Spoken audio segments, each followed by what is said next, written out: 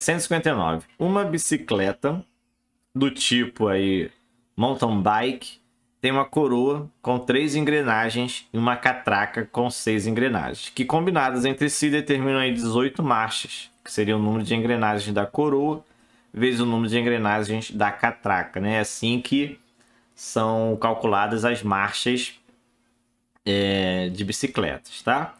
Bem, ele explicou e agora ele começa aí. Ó, o número de dentes das engrenagens das coroas e das catracas dessa bicicleta estão listadas no quadro abaixo. Então aí ele deu o número aí de dentes que a coroa tem e o número de dentes que a catraca tem, tá? Aí na primeira tabela. E aí ele continua. Sabe-se que o número de voltas efetuadas pela roda traseira a cada pedalada é calculado dividindo-se a quantidade de dentes da coroa pela quantidade de dentes da catraca.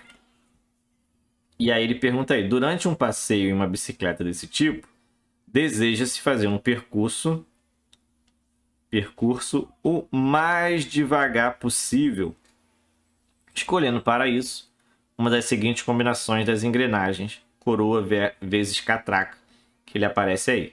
E ele quer saber qual é a combinação que esse que ele vai escolher aí para o passeio, tá? Então vamos lá. Vamos lá. Então ele vai fazer, vou fazer aqui para baixo. Ele tem cinco combinações aí para esse passeio, né? É, lembrando, né, que é coroa e catraca. Então a primeira é coroa, segunda catraca. Coroa, catraca, tá? É, então eu vou ter que fazer o cálculo para cada um desses, tá? Ele quer as voltas, né? Então, quanto menor o número de voltas, mais devagar ele vai. Então, a gente tem que analisar os dados e ver qual é o mais devagar, tá? Então, vamos lá. Então, eu vou chamar de V1, V2, V3, V4, V5, que são referentes aí às, às voltas, tá? Então, quando eu olhar o V1, que, que eu vou fazer? Né? Lembrando né, que as voltas elas são calculadas dividindo, então vão ser frações, em que em cima vai ter ó, a quantidade de dentes da coroa, embaixo a quantidade de dentes da catraca. Então, quando ele fala aí V1 sendo a primeira e a primeira, é a primeira da coroa, que é o primeiro. Então, a primeira da coroa é 46. E embaixo a primeira da catraca, o primeiro da catraca é 24. E a gente vai ter que fazer esse pensamento para cada um que aparece aqui. Então vamos listar todos primeiro, depois a gente analisa qual é o melhor, né? qual é o mais devagar, no caso, que ele quer. Então a volta 2 vai ser o quê? Primeiro, que o primeiro é da coroa, então primeira coroa, 46. Sobre o sexto, que é o sexto da catraca, que é o 14. V3 não vou ficar em cima. V3 é o segundo da coroa, que é o 36. E o quarto da catraca, que é o 18. V4. Agora eu vou ficar em cima. Vou chegar mais para cá, tá? V4 diz terceiro, terceiro da coroa, que é 26. Sobre primeiro da catraca, que é 24. E o último, V5, que é o terceiro da coroa, 26. Deixa eu diminuir um pouco, né? Que cabe tudo aí. E o sexto da catraca, que é o 14, né? Estão entendendo o que está acontecendo? Eu vou sempre fazendo essa divisão aí. E agora eu tenho que analisar, dentre esses, qual que é o mais devagar, né? Ou seja, o que tem aí o menor número de voltas.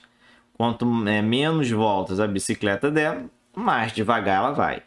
Então, o que, que você pode fazer? Você pode fazer essa divisão, né? 46 dividido por 24, 46 dividido por 14, 36 dividido por 18 e assim vai.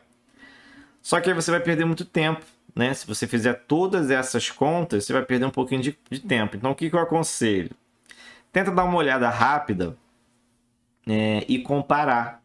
Comparar, porque você comparando, você consegue eliminar alguns só de olhar, tá? Por exemplo, ó, quando eu analiso o V4 e o V5, né, analiso esses dois, o numerador é igual nos dois, certo? 26 em cima e 26 em cima.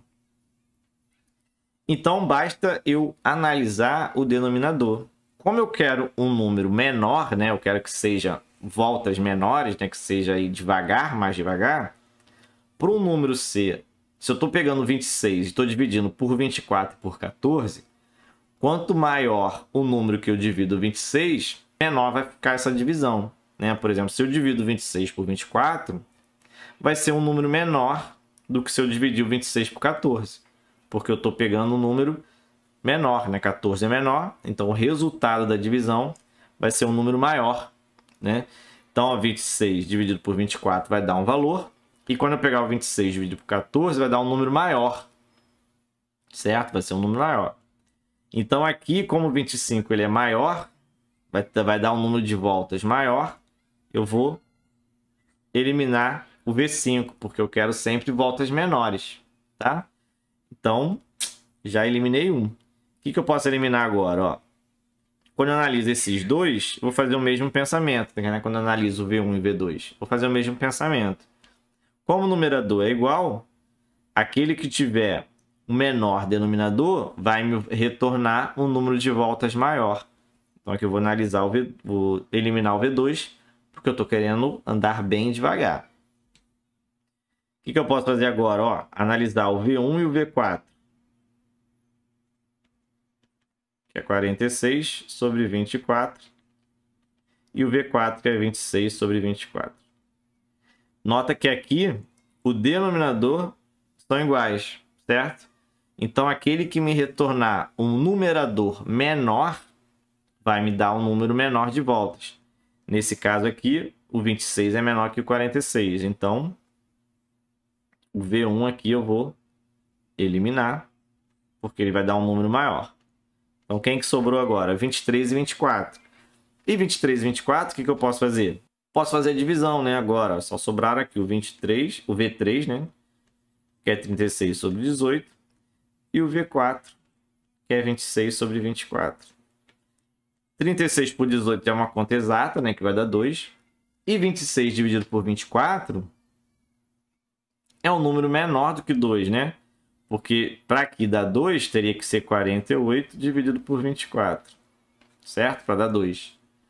Como o 26 é menor que o 48, então aqui vai dar um número menor do que 2. Posso até escrever assim, ó, menor do que 2. Então, por eliminação, tira aqui o 23. A combinação 4 vai dar um número de voltas menor. Então, letra D de dado.